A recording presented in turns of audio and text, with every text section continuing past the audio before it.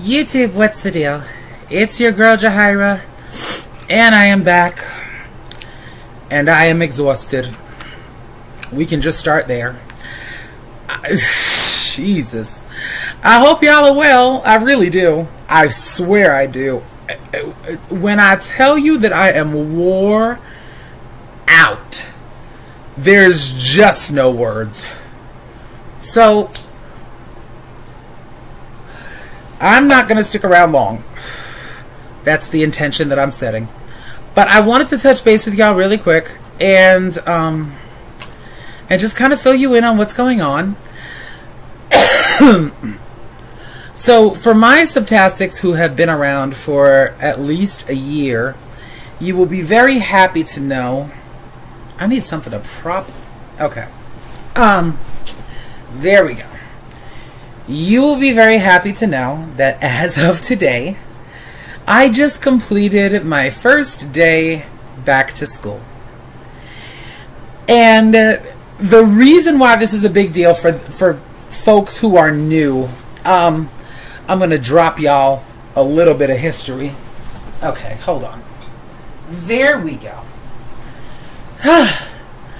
so, um, for those of you who may not be aware, I'm, I'm gonna I'm gonna clue you in.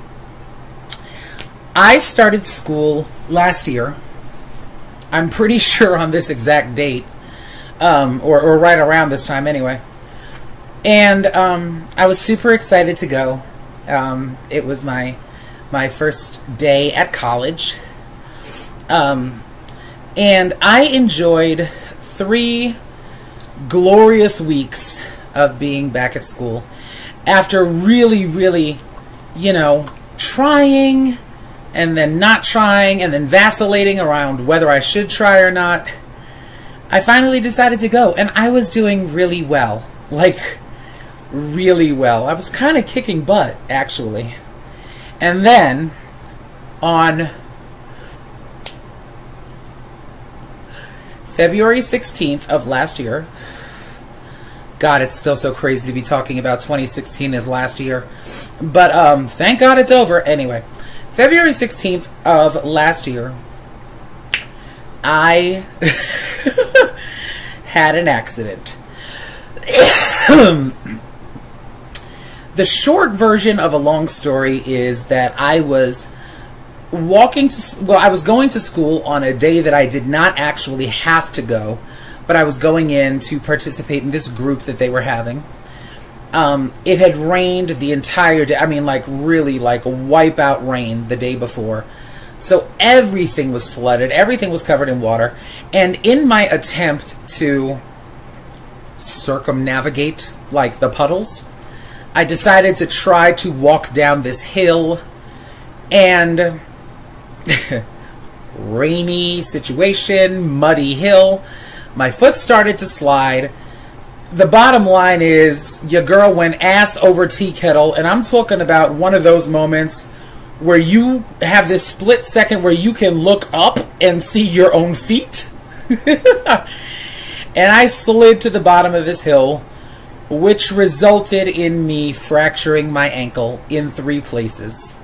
It was like back of the ambulance, rush to the emergency room, go into emergency surgery, and then I believe three weeks at a rehab facility, and then, you know, like this incredible long time healing. And with that said, I couldn't get around the campus um, with the walker, you know, because I mean, it is. It, it's a reasonably handy-capable um, accommodations within the campus but the campus was under renovations. It it wasn't great. So I had to withdraw, which was heartbreaking to me. And while I was at the bottom of this hill in a heap, screaming in pain, there was a guy. There, there was this man who literally, like, he had his friend pull over. They were driving, and he pulled over to the side of the road, or had his friend pull over. He got out of the car He called 911 and he stayed with me the whole time until the ambulance came. And I will never forget, you know, as I'm, I'm writhing in the worst pain I've ever known, um, I'll never forget he said that his name was Blessed. That people called him Blessed. Like that was his nickname. Just amazing, you know what I'm saying? Like it, and, and I thought about this kid. You know, when I say kid, I'm talking about like 19, 20, maybe.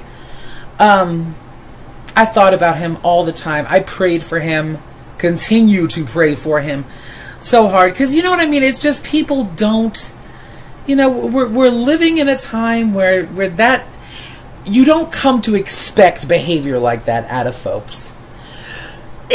but this was one kid who had obviously been raised right and and he he just he was there for me at a time when I didn't have a friend in the world. Lord, I could get emotional just thinking about it. And there's a reason for this. I promise. I'm to get there and I'm not to cry. That's the prayer. Um, suffice it to say, last year was really trying for me. On the one hand, I, I don't want to say that so so like in such a cavalier manner on the one hand, I really did get a chance to connect with some truly amazing people and trim the proverbial fat from my social circle, you know, letting go of the people that needed to be let go of and stumbling across these amazing souls that that are now kind of permeate my inner circle. People who are really rooting for me and are willing to stand in the gap for me and they make me laugh and they make me think and and I'm so grateful for these folks that I might not have had the time to meet had I not been in such a precarious position. Um, you know, but on the other hand, nobody signs up to break their ankle. And I was really on a path in school. You know, I felt focused and I felt present and I felt good about the things that I was doing. And it was just so disappointing. It was so disappointing. And the one thing to my credit that I will say is that the possibility of giving up never stayed in my mind long enough to like consciously consider. For me, it was always just a question of how soon I could get back and and and not give up. I will say that, and and I'm somebody who's kind of had a history of giving up on stuff. So that made me feel proud of of kind of where I've come from, you know? So last week was my orientation and I went.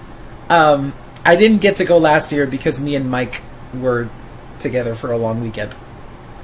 Um, but I did get to go this time.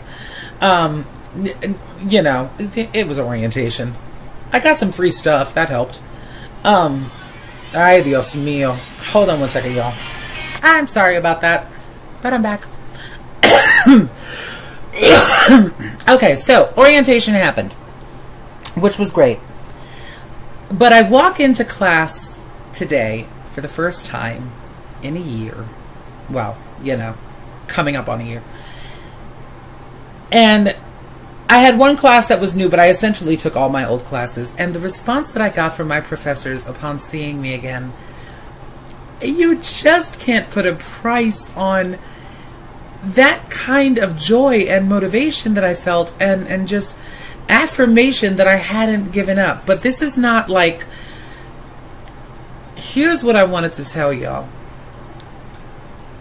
So I have basically an hour free period between each class. So I'm just kind of like meandering around the campus between classes at this point because I, I wasn't able to get my books today. I'm getting them tomorrow, which is Tuesday. Anyway, so I'm walking, I'm walking, I'm walking. Um, and I.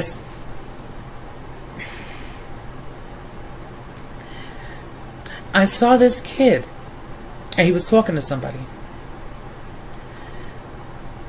He was talking to somebody and he was smiling.